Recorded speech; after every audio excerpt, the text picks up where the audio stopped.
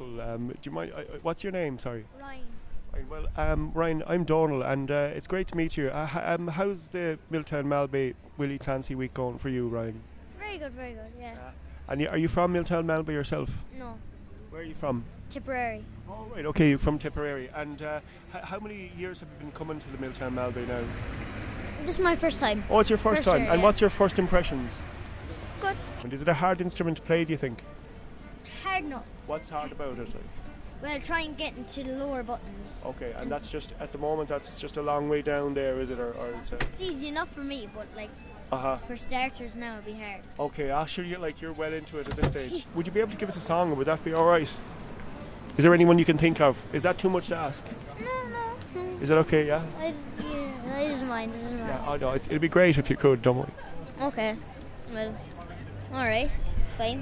Which one are you going to do? Do you want? Do you want to put that there? I'll put that there. Is it okay there? Okay. So, Anything at all now. nothing that. Come all ye lads and lassies and listen to me a while And I'll sing for you a verse or two I'll cause you all to smile It's all about a brave old man I'm going to tell you now How we lately came a courting of the middle sweet brown knowe This fair and fickle young thing, she knew not what to say. Her eyes that shine like silver bright and merrily to play. She said, Young man, your love's so true, for I'm not ready now. And I'll spend another season at the foot of the sweet brown elm. Said he, my pretty fair maid, how can't you answer so? Look down in yonder valley where my heart where my crops so gently grow. Look down in yonder valley where my horses, men, and plough are at their daily labour for the measure of the sweet brown elm.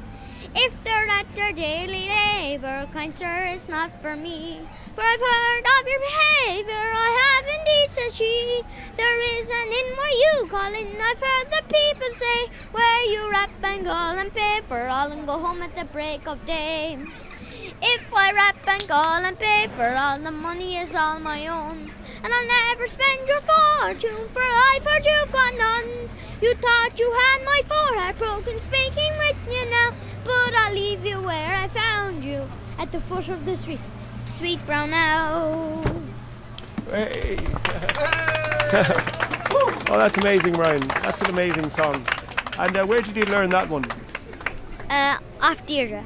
Oh, off Deirdre again. Okay, okay. She's a great woman altogether. So, would you be able to sing one more for us? Could, you, Um, could you think of one? That was t- that was so good. Okay, Do one more. one more, If, right. Is this another one Deirdre taught you? No, I learned this from